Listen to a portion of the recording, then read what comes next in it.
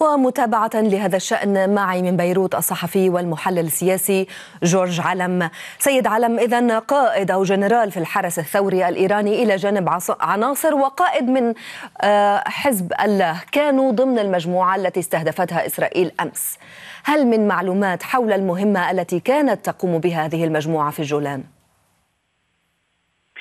تحديدا هذه المهمة هو نوع من التعسكر أو التمركز في هذا المثلث آه الاستراتيجي مع إسرائيل والذي يمتد من مزارع شبعة الجولان وصولا إلى البقاع الغربي.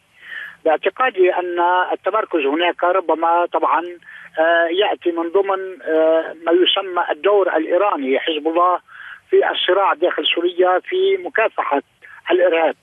وبالتالي هذا الأمر لم يعد جديدا ذلك أن حزب الله كان قد أعلن صراحة انحيازه إلى جانب النظام السوري في مواجهة المعارضة. طيب تحديدا تحديدا تحديدا اذا سمعنا سابقا تصريحات لحسن نصر الله هدد فيها بتحويل الجولان إلى جبهة جبهة في مواجهة إسرائيل، هل جاء هذا التواجد في المنطقة برأيك في هذا الإطار؟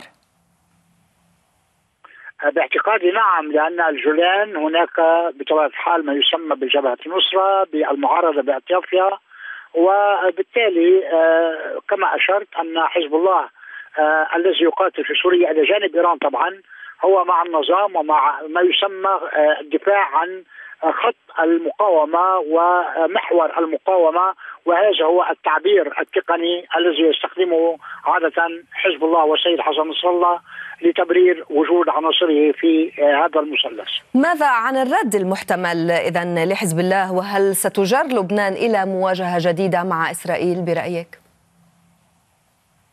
ما يتعلق بلبنان باعتقادي الجبهة سوف تبقى مستقرة هناك الخط الأزرق هناك القرار 1701 هناك القوات قوات يونيفيل الموجودة في الجنوب وبالتالي المواجهة أو فتح هذه المواجهة يعني أن هناك قرار دولي كبير وبالتالي خرق هذا القرار باعتقادي ليس بالأمر سهل أما فيما يتعلق بالرد من طبعا سوريا هذا الأمر أيضا مستبعد لاعتبارات استراتيجية.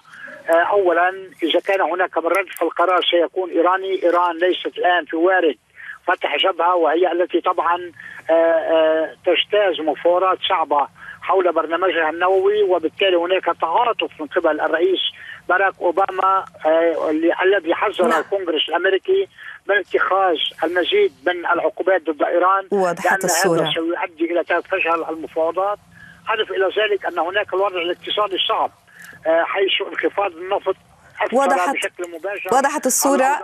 شكرا جزيلا لك المحلل السياسي جورج علم كنت معنا من بيروت. شكرا لك.